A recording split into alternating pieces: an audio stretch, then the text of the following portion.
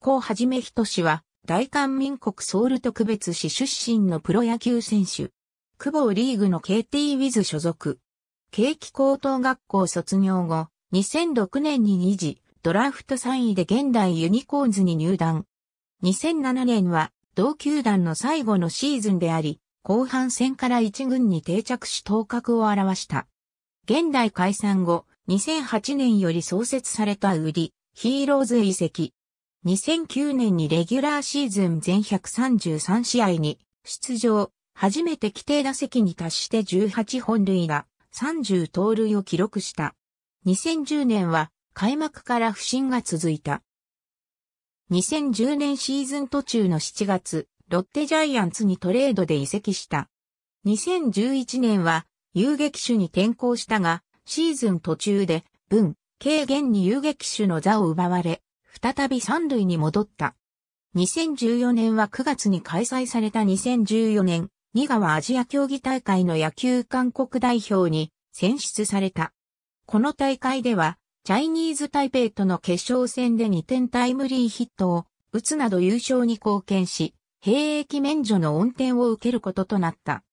また母のソル・ミンギョンはテニス選手で、1982年、ニューデリーアジア大会で優勝しており、韓国史上初の母子でアジア大会金メダルを獲得した例となった。2012年から2015年までレギュラーシーズン全試合に出場した。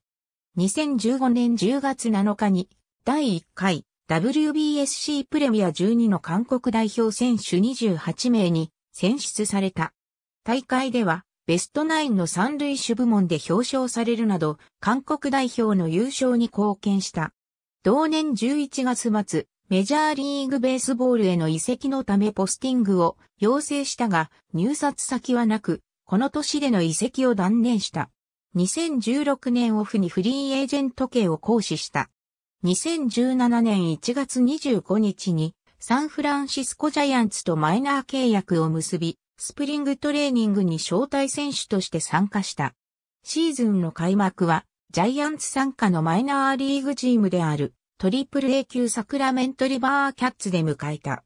6月28日にコナーガレスピーの故障者リスト入りに伴いメジャー契約を結んでアクティブロースター入りし、同日のコロラドロッキーズ戦でメジャーデビューを果たした。サンフランシスコジャイアンツ史上、韓国人選手がメジャーリーグの試合に出場するのは、こうはじめひとしが初めて。メジャーでの背番号は1。このデビュー戦で本塁打も記録している。7月23日にトリプル A 級サクラメントへ降格となった。7月28日に MLB へ再昇格したが、8月2日に再びトリプル A 級サクラメントへ降格した。9月1日にリーフとなり40人枠から外れ、11月2日に FA となった。2017年11月13日に KT ウィズと2018年から4年、総額88億ウォンで契約し、韓国プロ野球へ復帰した。彼のロッテへの保証選手には、超竹シネが選ばれた。